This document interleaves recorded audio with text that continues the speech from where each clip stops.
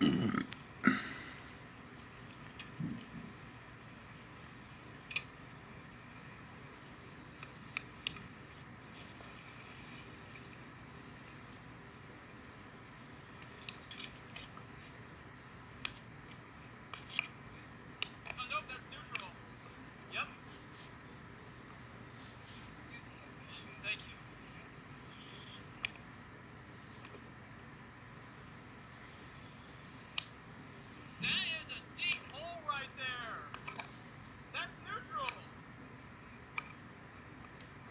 I, I wasn't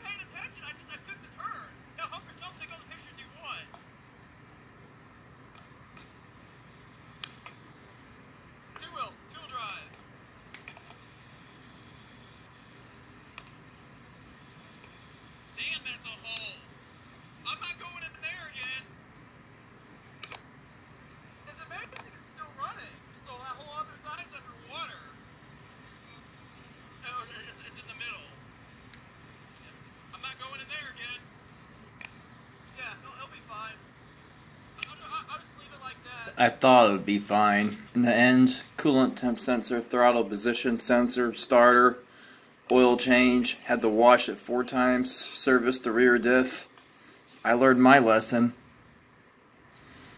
Never take your truck in a hole if you don't know how deep it is.